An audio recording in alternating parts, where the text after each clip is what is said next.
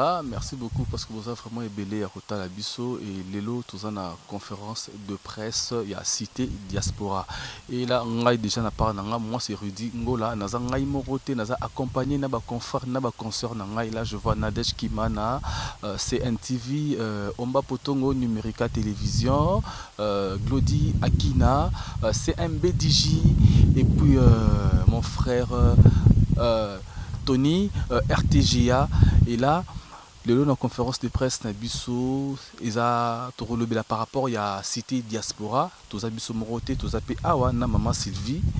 mokolo cité diaspora kaka ndenge bozomona espace oyo tozali tokozala na mama sylvie awa na plateau na biso tokosolani vraiment makambo ya ebele C'est un peu ça quoi. Merci beaucoup maman Sylvie, ngai Claudie Akina, CMB Digi Télévision. nasepeli mingi na place oyo osaleli biso bacongolais e, motuna na ngai eza boye osali combien de temps po realiser d'abord oeuvre oyo osali et puis pona nini oponi kaka kombo wana site diaspora?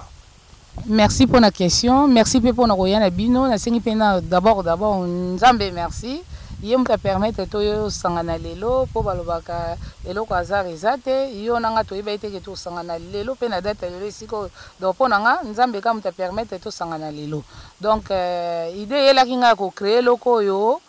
Euh, d'abord naza koko ya Zeka Bar. Euh, nalingaka makambo ya mabele mingi. C'est familial, euh, nazalaka inspiré beaucoup plus nango. Donc euh, soki oyebi koko Zeka Bar te na ko expliquer mwa moke mpo bozwa idée. Koko Zeka Bar na nga azali koko moko asalaki fortune makasi na immobilier. Bato bayebi ye mingi mingi, référence na biso ezala kaka na Kalembelembe 144. epai basalaki film ya, ya la vie est belle epai pepe kale akweyaka eh, na film wana donc lopango na biso mama na nga abotama wana koko na nga azalaki so tokotanga parmi ba riche na congo ye azalaki na kati donc azwela mbongo kaka na mabele Eloko sikoyo ekamwisaka nga koko na nga atangaki te, ayaki sans diplome, ayebaki kokoma ata kotanga te. Mais azalaki moto kaka na système oyo nga nakokende asombi mabele ateki, atongi immeuble soki okende na Tombalbaye okomona residence zeka. Donc moto asokaki kosomba ba mapangu na ba niveau ya ba ville wana a l'epoque. Donc nga pe nazalaki inspire par rapport ya koko na nga. Or koko na nga atangaki te, sans diplome, mais azalaki na mbongo ebele.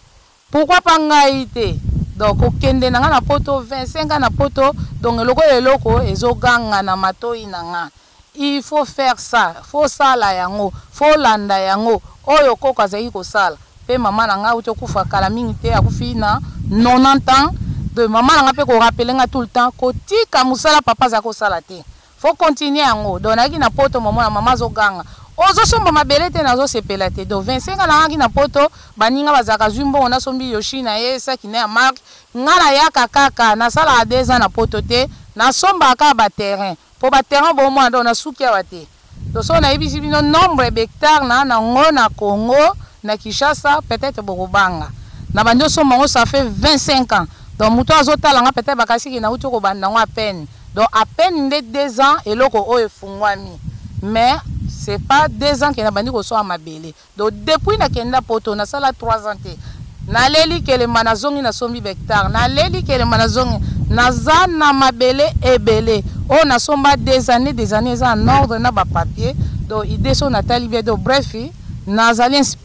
Bo site diaspora mingi mingi de yelaki ngai parce que ndaku ya liboso na somba na za nango na vie oyo eza kenda bo nga pona vanda eza na monga fula ezalaki soki mbule beti balabala mone panzani on dirait kaka ebeti wana soki oko solola na ba voisin to sangisa to bongisa avenue boye boye ba mwa ba boyi ko pesa na na mbongo te so oza na mbongo kisi etali yo soki nga za jeep eh donc de ko lala na souciate Omona nakomi mal à l'aise donc faut nasomba moellon, caillasse, nabongisa avenue nga moko, nakoki depasser 500 mille dollars kaka nga moko. A la fin inspiration yako yela nga bi pourquoi pas ko creer ba sites ya biso moko uniquement poto na poto na ba terrains na nga nazalaka na yango nasomba des annees des annees ndenge awa naza nasomba yango il ya longtemps 18 ans passes Ezalaki ferme ya ngulu ti lelo kutu naa na mua espace naa na ngulu naa na ngolo kuna hein pa bawuti obuta buka pondu topesi maman tout à l'heure awuti etats unis sikoyo idee yako yela nga ke pourquoi pas ko creer ngo site to vanda kaka biso na biso po muana poto tozalaka na conscience moko soki abi conscience moko ça veut dire quoi soki to decider ke semaine oyo faut tosala terrasse awa toko sangisa yako tia 100 100 100 tout de suite toko sala ngo Mais mbata kin biso biso to sangisaka toa na ngo te bino boa na mbongo ya kisi bo sala donc idee wana eyelaki nga wana pene explication na yo je suis sincère omoni na nao cree eloko donc eza business dejà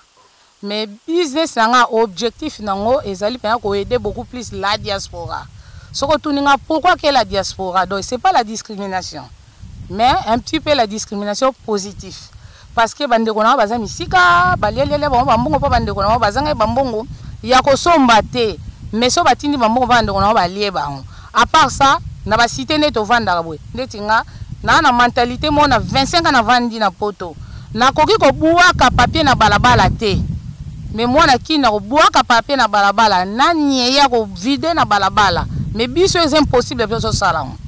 donc yango nazwaki ide wana na kozalaka biso na biso mpo nde tovandi ya toya na règle si tosala bapapier motu to asomba asinya yango awa salite te makelele andaka nzambe ebele ebele te toya mpo toluki kimia mpo bato oyo basombi awa la majorité baa na bandako na gombe na ngaba nayebi mpe sakende ozwela bambongo baa na bandako mpena baimmeuble na ville en plein ville Na ke zwaka mbongo na yebi moyen na tanga ba kombo na bango eza te mais ba sali choix ya ko vanda awa po toko zala biso na biso conscience moko ko tiela muninga makelele te o mwa terrasse na biso il faut to sala to sali mwa macadam na biso kitela biso awa na entree na biso toko sala yango biso na biso ke avec mes 100 euros 100 euros 50 euros 10 euros toko sala yango po toza na conscience ya ko bongisa Mundele pena apprendre biso la propriete so omoni mwana poto aza salite awuti poto mazaka salite en tout cas faut tala deux fois pourquoi aza bongo merci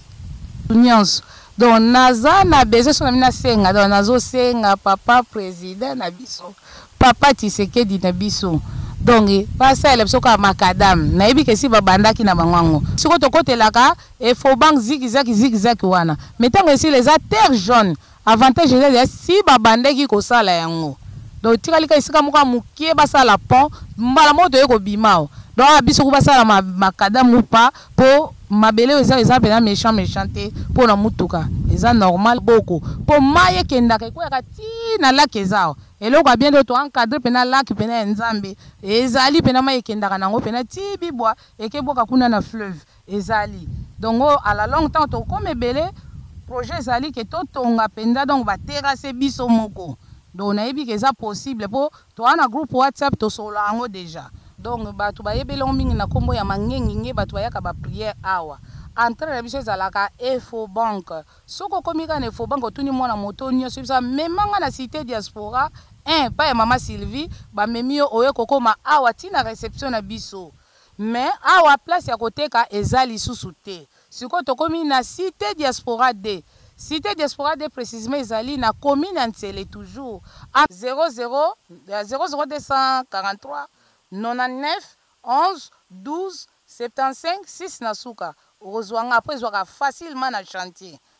Bobenga ba espace ezali. Prix ya ba terrain na biso ezali na 2500 dollars. Hangar na mikanda na kati. Mais sikoyo nde nazo yebiso ke ekomi na 2500. Ça veut dire quoi? Mabele epolaka te. Donc yo ovandi na yo mais yango ezo mata. Donc epreuve en est ke awa pa tovandi awa ba ndako nde ozo mona boye. Ba sombaka yango 1600 na mikanda makambo nionso na kati. Mais sikoyo patoke ekomi na 2500. Nalobaka j'essaye d'etre honnete, naza honnete te mais j'essaye donc pour etre vrai en tout cas nakutani na na difficulté moko te donc euh, c'est normal nakutana na difficulté nano te parce que naza na expérience ya makambo mabele